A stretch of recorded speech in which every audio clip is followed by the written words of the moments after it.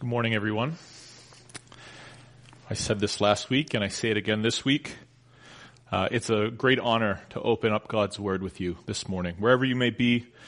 Um, and I said this last week and I'll say it again this week. I, uh, this is great. We have technology. I really wish uh, we could be together this morning. And uh, looking forward to seeing, seeing you folks whenever we, uh, we're able to meet again at the Ottawa Little Theater. If you have attended Messiah for some time, um, you know, more than just a couple weeks, you will notice that uh, we pray the Lord's Prayer every single week. It's a part of our service. Matt did it just a few uh, moments ago, and uh, it, it is a mainstay of of, uh, of Christian worship. It's a part of it. It also, um, for us that have been a part of Messiah for some time, uh, it can get old hat. We we can go on autopilot when we have uh, our prayers, when we have uh, when we go through the liturgy. Um, I don't want to say familiarity breeds contempt, but uh, maybe familiarity breeds apathy. The thing is, the Lord's Prayer isn't just something that we ought to rifle off. Um, it's very, very important. In fact, it's actually the basis upon which we should model our prayer life. Our, our, in many ways in our lives, we should model our lives after the Lord's Prayer. Uh, the centuries old way that Christians have instructed um, other Christians, other potential Christians on the Christian faith have centered around three things. The Apostles' Creed, the Ten Commandments, and the Lord's Prayer. And really, it's an easy way to think of it is uh, what to believe, how to live, and how to pray. These things are uh, are, are, just uh, they're, they're rocks, they're foundational pieces of what it means to be a Christian. Last week we looked at the Ten Commandments um, as as the means by which we are to live out um, the gospel as God's people. This week we're looking at uh, the Lord's Prayer in Matthew chapter 6. If you have a Bible, I would love it if you would follow along with me, although I'm sure we'll have the words on the screen as well. But if you have a Bible, pull it out. The Lord's Prayer opens with an address to God. Actually, before we get into this, I mean, like the Lord's Prayer, we could do a summer series on this over seven, eight, nine weeks. We have one week to do it. So we're not necessarily going to um, go forensic in terms of a, an exposition on the Lord's Prayer. But it's important that we get some handles on it before we jump in. You'll see that the Lord's Prayer uh, opens up with an address to God. We look at it in verse 9. It says, Our Father in heaven, hallowed be your name. And then it's followed by seven petitions, uh, three of which have to do with God, four of which have to do of more of, of a personal nature. And then it wraps up with uh, a doxology or a bit of praise to the Lord. And like I mentioned before, this gives us a, uh, a framework for prayer and, and, and really a framework for our lives as Christians. The Lord's Prayer also is deeply important because it helps us to do three things. It helps us to do three things. It helps us not uh, to emphasize the personal over the transcendent. I'll uh, explain this, but that's where, where, that's the first point. The second thing is to not. It helps us not to value the giver over the gifts. And the third thing it does is it helps us not just pray to God, but to also praise God. So I'll say those th- three things again. The first is it helps us, the Lord's Prayer helps us not to emphasize the personal over the transcendent. The second is not to value um, the gifts over the giver. And the last thing that it uh, helps us to do is to not just pray to God, but also to praise God. Okay, so that first one, to not, uh, it helps us to not emphasize the personal over the transcendent. So it's important to know that um, Jesus wasn't the only rabbi that was walking around in the Galilee and in ancient Israel with followers. Um, that's not to somehow diminish who Jesus is, but just historically, there were other people that claimed authority. uh, that claimed to be great, great rabbis, maybe even Messiah figures. Jesus wasn't the only one uh, at that time. They would teach on God, their understanding of God. By the way, just to be clear, I'm not equating the two, okay? Just explaining this.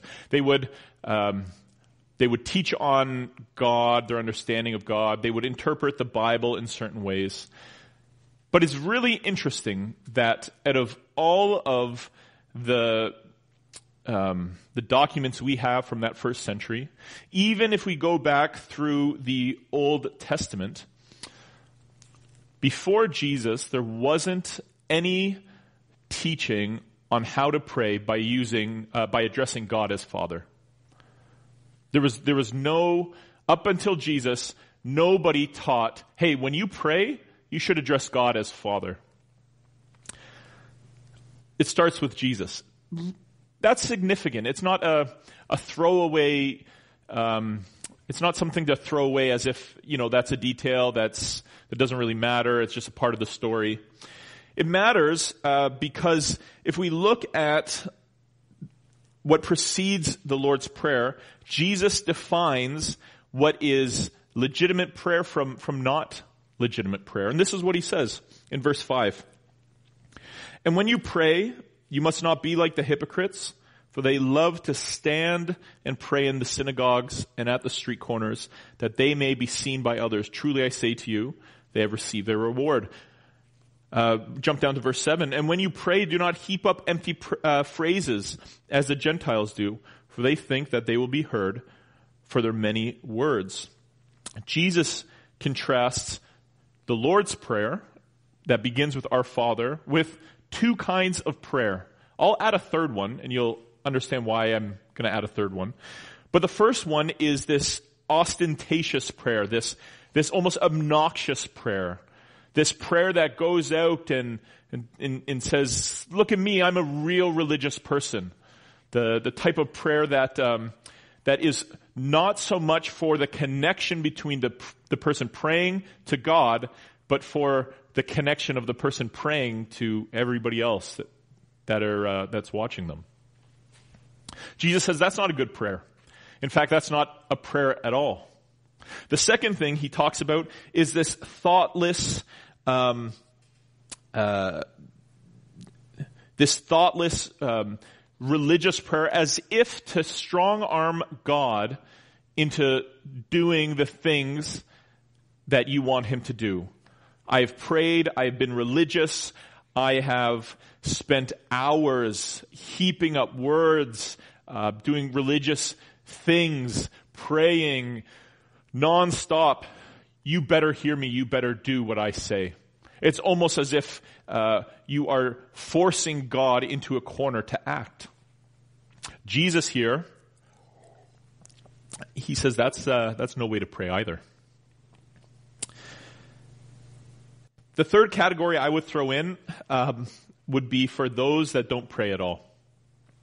That is one of those uh, categories that is a, a, tough thing for us to admit to if if we call ourselves Christian, if we have put our faith and hope and trust in Jesus. That there are seasons that we just don't pray at all, and by implication of Jesus teaching us how to pray, He is encouraging us to be people who pray to not be people that don't pray. So really there's these three kinds of prayers that Jesus, one of them being no prayer at all, approaches the prayer that Jesus then contrasts with what? He says, but when you pray, um, in verse 6, but when you pray, go into your room and shut the door and pray to your Father who is in secret, and your Father who sees in secret will reward you. Verse 8, do not be like them, for your Father knows what you need before you ask Him. Pray then like this, Our Father in heaven. It means that our prayers are deeply, deeply, deeply personal. It means that we are praying to God as Father in relational terms. It's very significant. I will just say this. Um, the evangelical church for decades, I, mean, I, should, I shouldn't say for decades, as if I'm some kind of historian, for all of my life, has preached you need to have a personal relationship with Jesus Christ, which is very true.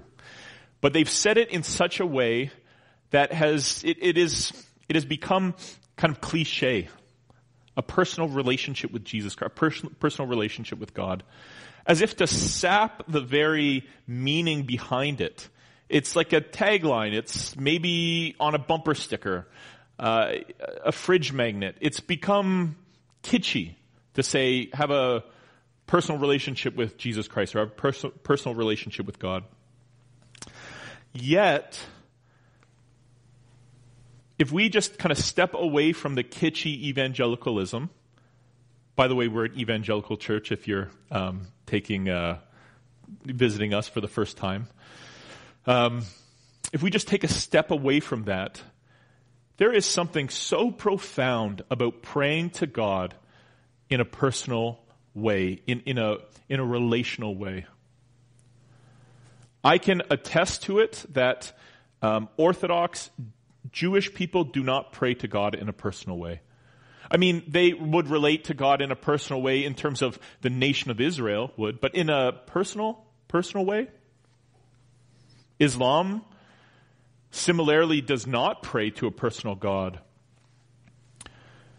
Nowhere do we see this call to a personal prayer life with God apart from what we see in the scriptures.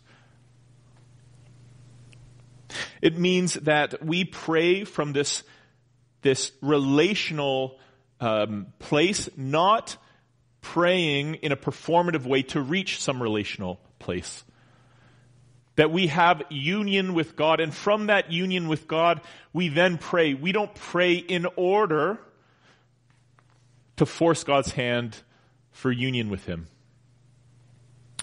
If you remember last week, um, and if you haven't, we have it on YouTube. We looked at the Ten Commandments. And the remarkable thing about the Ten Commandments is that it opens up by saying that, um, that I am the Lord your God who brought you out of the land of Egypt, out of the house of slavery. And then it goes on uh, with the rest of the Ten Commandments.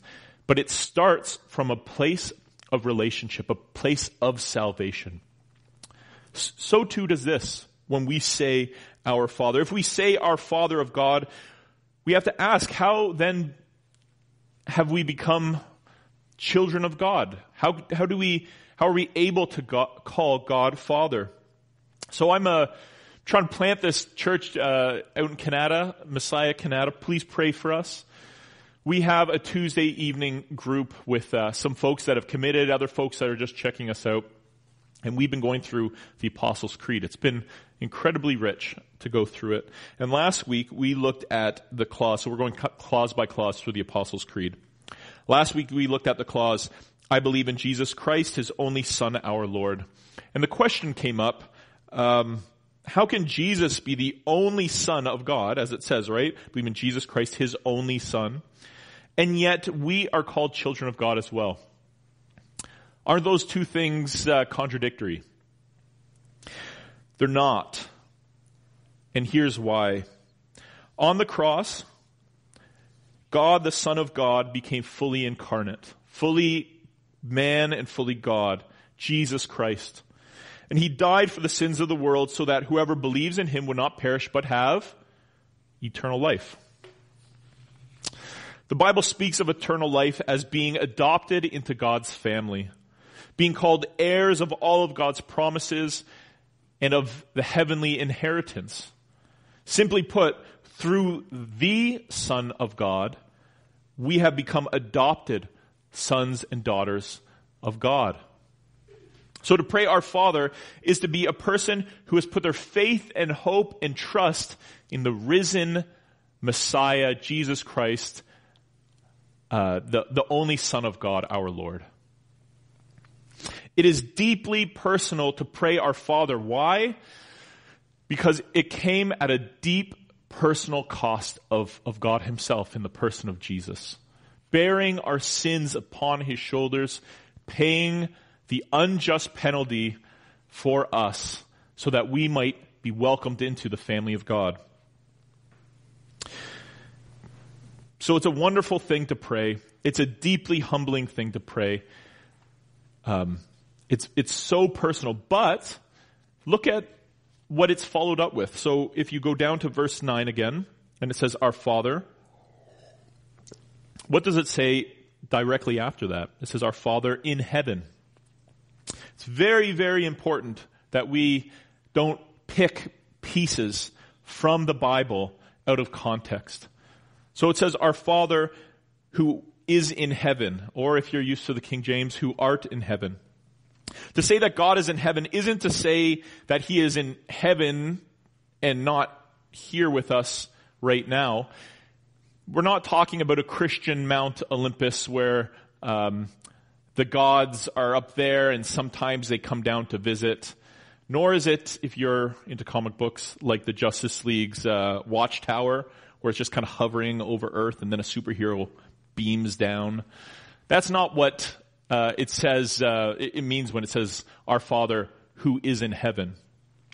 Rather, it is this recognition that God is sovereign over all, that He is creator over all. God, one of His attributes is um, His omnipresence or His ubiquity. That God cannot be in one place and not in the other. He is everywhere. Everything, in fact, is held together by God. So to say that our Father in heaven isn't to talk of a distant God out there, but it's to talk about a transcendent God, an almighty God that we get to call Father.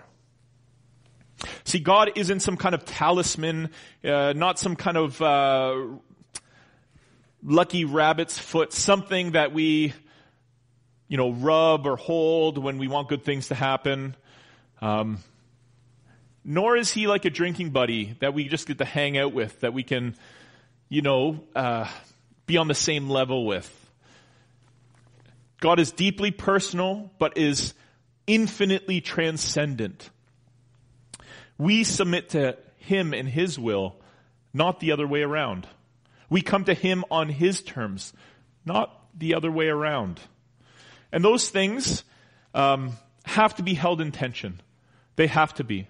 In fact, they don't just need to be held in tension, but you have to understand it because one without the other negates uh, negates both. If we say that God is almighty and He's not personal, then we are creating a God that's a bit t- tyrannical, a God that is not um, uh, the Christian God in the Bible, but would look more so like a God in the Greek myth, in the Greek myths.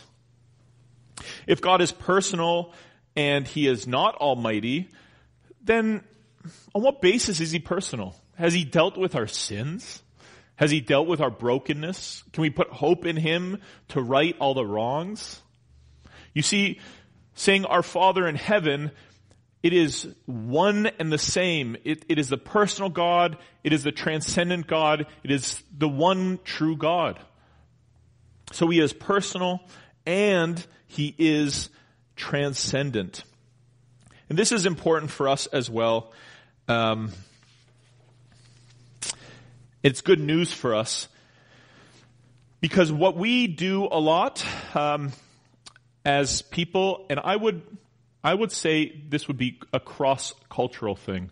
So if Canada has many different cultures, these subcultures, then I think this is something that is um, that we could maybe observe throughout all the different cultures. But what we do is we put our eternal hope into temporal things, and we put uh, our uh, we look to the eternal to solve all our temporal problems.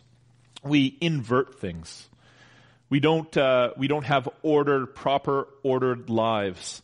And here we have an example right off the bat in the Lord's Prayer where God is incredibly personal, where He helps us in our day to day. It'll, we'll read in a, in a brief moment about how we can pray for our daily bread.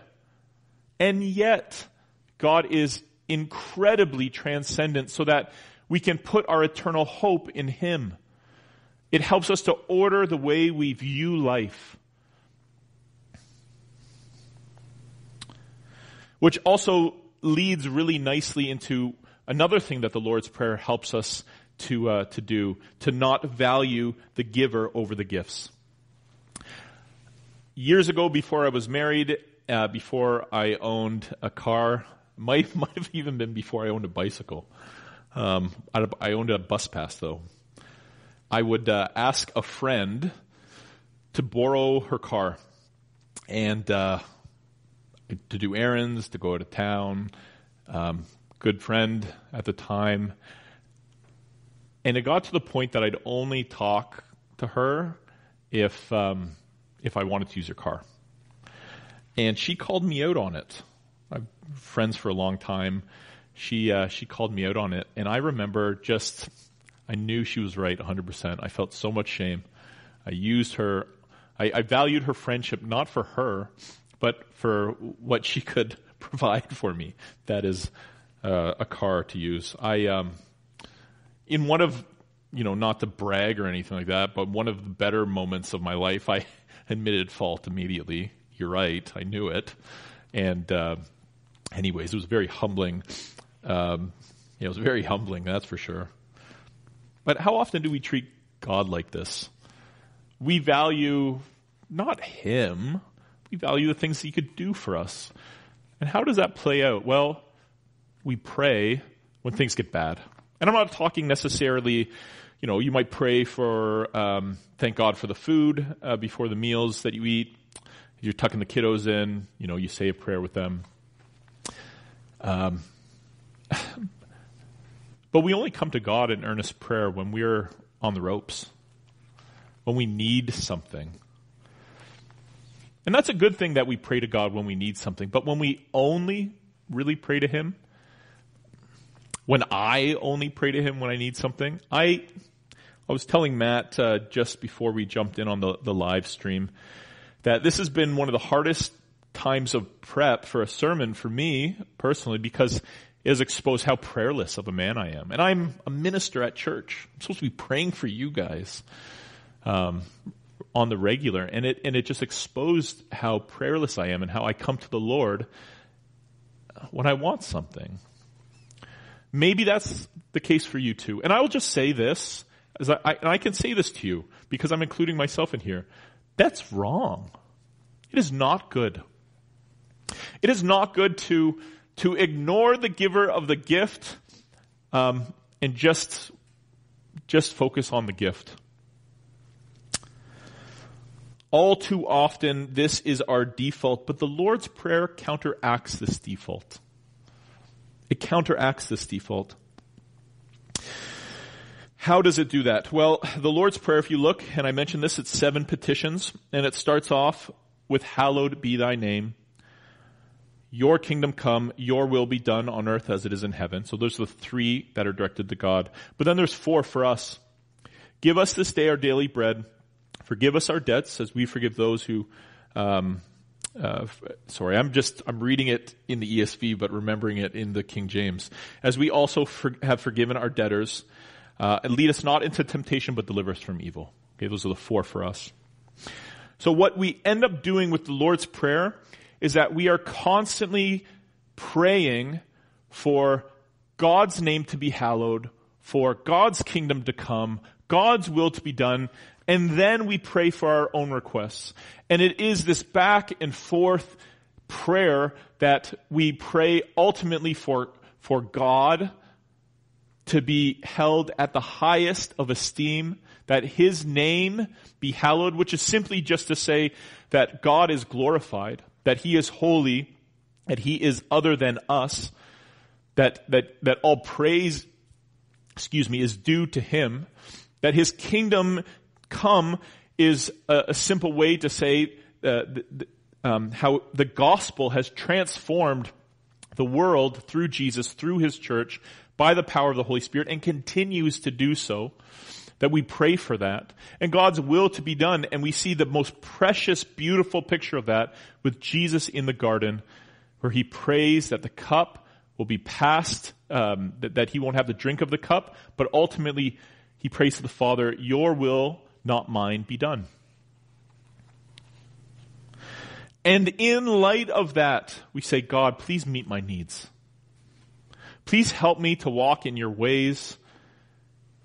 Please help me to avoid evil, to avoid darkness, to avoid brokenness, and instead live into the good and live into the light and live into fullness.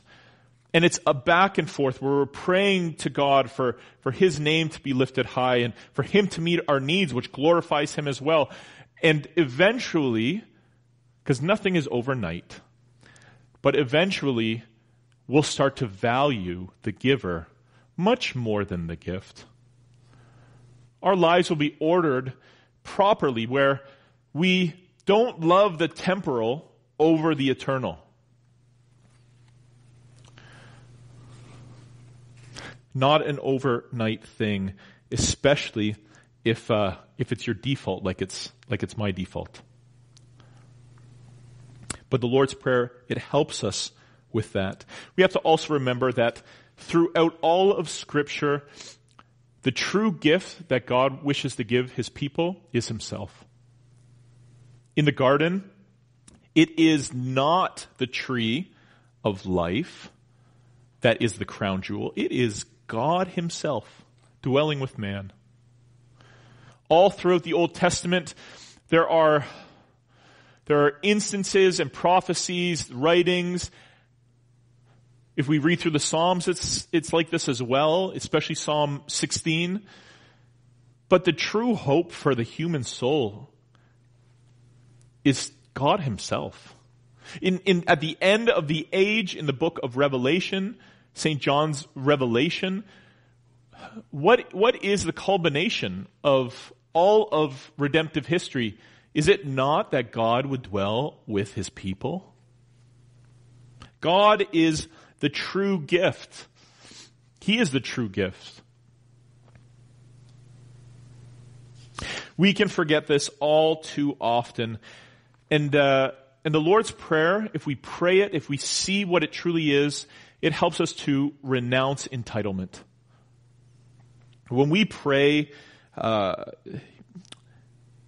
to, to the Lord, your kingdom come, your will be done on earth as it is in heaven, and then we pray, give us today our daily bread, how do we then act smugly that everything comes from our own hand, our own, uh, the sweat of our own brow? The hard work we've done, the excellent investing that we've uh, accomplished over the decades, over the years. We recognize that all of God's gifts to, to us, all of all the good things in our lives are gifts from Him. And we don't pray with a fervency. So when it says, give us this day our daily bread, it seems like um, a redundant prayer, but this is like a desperate cry for, for people, especially the people that would be hearing Jesus um, in the Galilee, they live a, a hand to mouth subsistence type of life.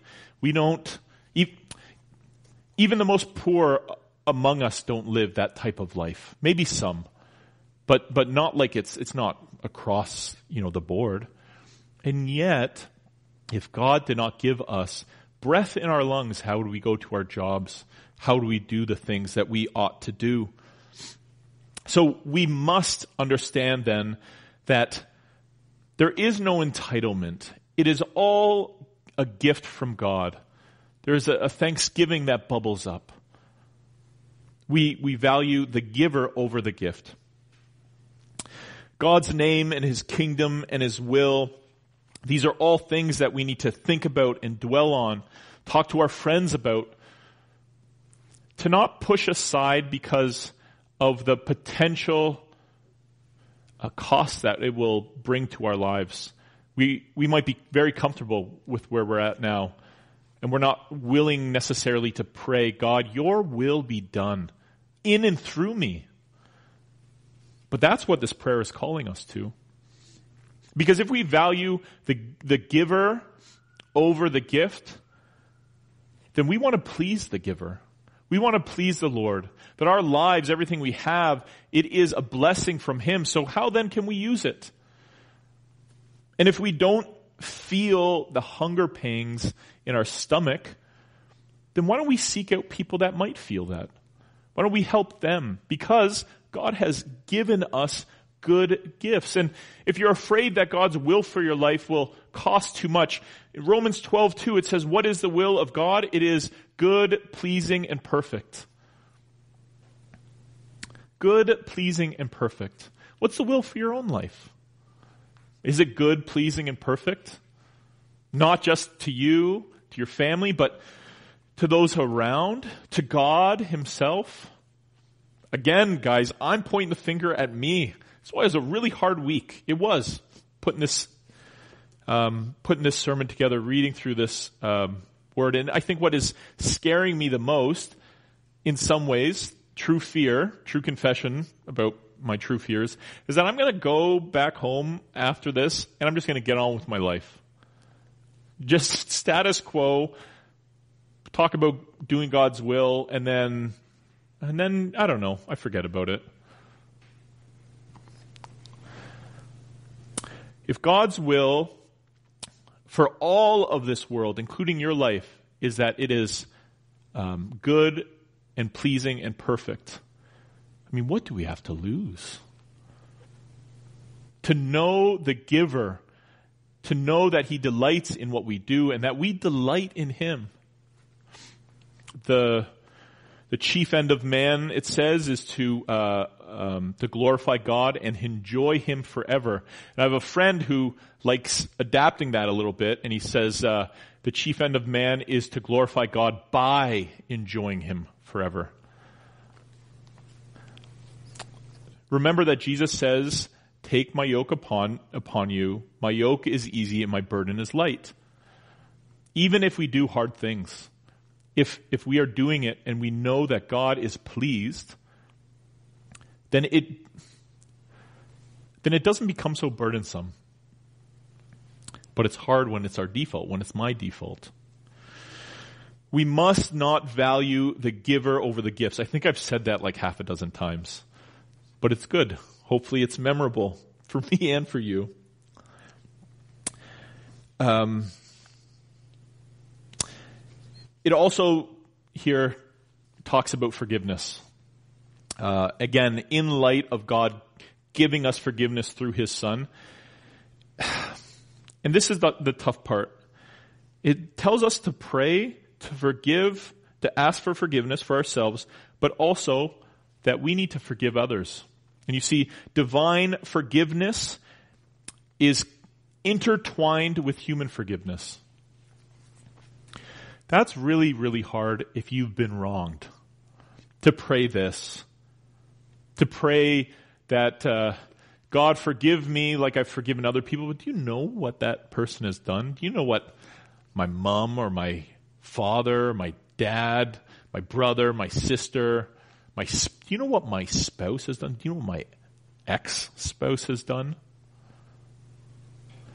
It's hard. I mean, pain and unforgiveness, it is, I do not want to downplay that at all, but if we understand that we have been forgiven an eternal debt by God, that we have sinned in a huge way against the living God, that we will start to see that debt against us begin to diminish. When you are filled with thanksgiving, when you are filled with, I should say not filled, when the chains are taken off, there's a lightness that you see things differently. Especially if you see yourself as a sinner, as somebody who has, has, has really offended the, the, the living God, then who are you to hold it above someone else if God doesn't hold it above you? In the end, we want to do, we, we, we want to pray that God would forgive our sins in light of praying your kingdom come, your will be done. Hallowed be your name. It's hard. It's not easy. But with, without God's forgiveness, we have no mechanism to deal with the past. We just don't. Our culture right now, what, uh, what is our culture doing right now with the past? It is going on a witch hunt. It is a witch hunt. It really is. And conservatives are doing it just as much as liberals. Um, It is, it is a, it's endemic. It's, it's a big problem right now. It really is. We don't know what forgiveness is. We want to uh, tie people to the stake and be the person to light the wood to set them ablaze. We don't understand.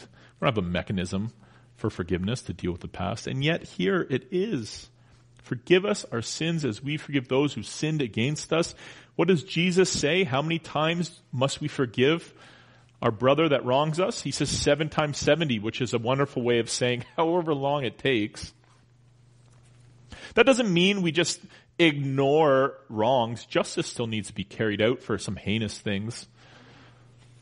But forgiveness, I mean, that is freedom. And we can forgive others. We can. We can. It might take time. Might need to have a chat with, with George or myself or somebody else you trust. Maybe work through some of this stuff. It's not, it's not easy. But it is liberating, especially if you know that you've been liberated yourself.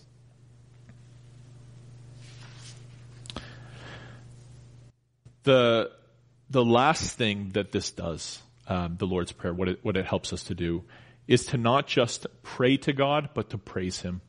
Uh, we've talked um, a lot about God, uh, about hallowing His name, uh, His kingdom come, His will be done, about how He meets our needs.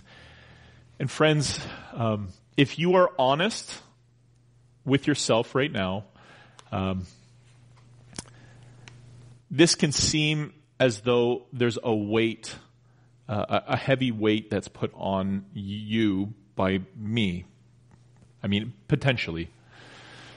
But this is, like I mentioned, one of the most freeing things we can do. Remember that God's will is, um, it is good, perfect, and pleasing. And when we encounter God and as we pray to Him, we'll realize we are free people. And we pray, like with the Ten Commandments, it we, we live out the Ten Commandments from a place of salvation. We pray the, the Lord's Prayer from a place of complete liberation. And this will elicit praise. It just will. We, uh, when Jill read the Lord's Prayer, um, in verse 13, it ends by saying, but deliver us from evil. When we pray it at Church of the Messiah, uh, it says, uh, "For yours is the kingdom, the power, and the glory forever and ever." And it's it's just not. I mean, if you have a if you have a Bible, there might be a footnote there that'll say something like uh, that. In the earliest manuscripts, that section is omitted, and it's true. Uh, the earliest and most reliable, excuse me, manuscripts manuscripts we have of uh, Matthew's gospel does not include that. It's it's added later but it's still worth, worthwhile to pray. It's uh, incredibly biblical to pray for yours is the kingdom, the power, and the glory forever and ever. Absolutely, it's biblical. But it is also important that we do that because we pray to God and it then, if we truly grasp what we're praying, we will praise Him. We will. Uh, the Lord's Prayer opens up with an address about God. It has um, seven petitions. But then if we say for yours, it ends with doxology, a worship of God. We can't, we can't be moved by God, truly moved by Him, and then not praise Him. He redeems mankind for, for, for the, for the sake of love. He's a promise keeping God. He genuinely desires to bless us for our good. That his, that he blesses us with his very presence. We get taste of it in this life, but the promise is for the life to come. It means that Jesus himself is the ultimate gift that we pray for in the Lord's Prayer. Jesus has made a way. In fact, Jesus is the very embodiment of the Lord's Prayer. Consider this that uh, if we go through kind of line by line of the Lord's Prayer, he's the, the embodiment of it. He called God Father. He is the only begotten Son. We are the adopted sons. He calls God Father. He brought honor to His name. He ushered in the kingdom. He submitted to the will of the Father. So he says, I only do what I see my Father doing. He gave himself as the very bread of life. The very bread of life. He, he won forgiveness for us on the cross. He suffered temptation, but did not give in. And what does he do? He delivers us from evil. He is the very embodiment of the Lord's Prayer. And when we pray it, we can pray it with Jesus in mind. And this brings praise to our hearts if it moves us. If it moves us.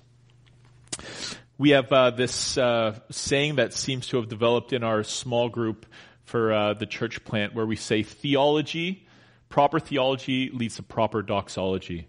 When you understand, truly understand what God has done for us in Christ Jesus, then our hearts will be moved to praise Him properly, to praise Him with our whole hearts, to learn how to praise Him. It is deeply, deeply connected.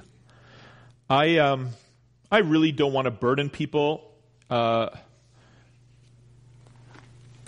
just kind of in closing, I really don't want to burden people with, uh, hey, you need to pray more, or else, you know, you're no good.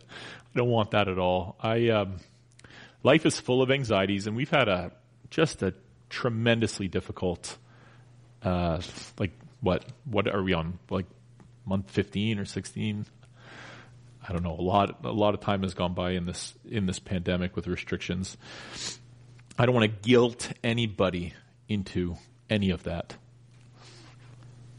But if prayer truly is turning our heart toward God to listen and to speak with Him, as our catechism says, it would seem to me that prayer provides an opportunity to give our problems and our concerns and our, and our anxieties to God knowing that He and only He can alleviate all of the pain, all of the, the, the, the trouble, all of the things that we try to mask with, with either substance or busyness or entertainment, whatever it may be, that never truly fixes things. Only He can deal with it. We can enjoy His grace and His love and His kindness. We bring our desires to the Lord and ultimately we pray our Father and we're praying, God, give me yourself. Teach me your ways. Help me to deny myself, to deny my entitlements. Help me to live a life that says, your will be done through me. Your kingdom come through me, through our church, through my family. You're not going to get it right every time. But by God's grace, He's going to start transforming your heart. we'll learn to enjoy God. And we might go through seasons of dryness. And if you're in one right now, it's okay. But still say pray. Pray. If it feels like you're going through the motions, it won't feel like you're going for, through the motions for very long. I haven't given you guys any kind of practical um, tools, but uh, just a, a, few things. You want to pray, um, if at all possible, with other people, but for sure by yourself. And if you can, try to pray as early as you can. Try to make it the first thing you do. And if you have children, it's difficult. If you're working shift work, that's hard too. God's not like, listen, if you don't pray between 6 and 6.30, like, don't bother. He doesn't say that. But try to make it one of the first things and start with two minutes or three minutes. Start with an aid. I, um, I tried my best to pray with the Book of Common Prayer, the morning prayer service. I, uh, I like books, like physical books, as opposed to uh, using my smartphone, just because I can get lost. An hour can go by on YouTube on my smartphone, but um, but you could use morning prayer, and it helps us then to structure our prayer life. You can also use, and I think Claire will throw it up, um, the daily prayer app, and it is an adaptation of the prayer book, but in contemporary language and really beautiful backgrounds if you're into that kind of stuff. And I think it's about 10 minutes long. Um, they throw some scripture in there, they throw some prayers in there, and it's really good. It's called the Daily Prayer app. There's also um, the Book of Common Prayer app. It's called Daily Prayer, and it's from the Church of England. You can check that out. It's not as pretty, um, but it's like a full version of this on your phone. Or uh, if you have another way of praying, uh, you pray through the Psalms, whatever it may be. Try your best by God's strength. Ask Him to help you to pray. And then pray. Ask somebody to hold you accountable to it. And pray. And see how the Lord will transform your life. One, uh, one last thing before we, we close. God really, really, really loves you. And that's not a kitschy thing to say. Uh, if, it, if it seems kitschy, that's okay. He really, really loves you. He really, really, like, desperately wants to connect with you. So much so that he sent his son, Jesus Christ, fully man, fully God, to, to make a way for you to enjoy his presence. Uh, Isaiah 65 verse 24 says this. This is God speaking. Before they call, I will answer. While they are yet speaking, I will hear. He is, like your sins are paid for. He's not waiting to punish you. He's desperate for you to come. And I shouldn't say desperate as if God is some man who has needs, but he wants to meet with you. Uh, in 12 weeks, because this is Trinity Sunday, the collect for the 12th Sunday after Trinity says this He is always more ready to hear than we are to pray. And isn't that the truth? Friends, if you have put your faith and hope and trust in Jesus, or if you're thinking about it, today is the perfect day to ask God to help you to pray. And then we can pray together. Our Father who art in heaven, hallowed be thy name. Thy kingdom come, thy will be done on earth as it is in heaven. Give us this day our daily bread and forgive us our trespasses as we forgive those who trespass against us. And lead us not into temptation, but deliver us from evil. For thine is the kingdom, the power, and the glory, forever and ever. Amen.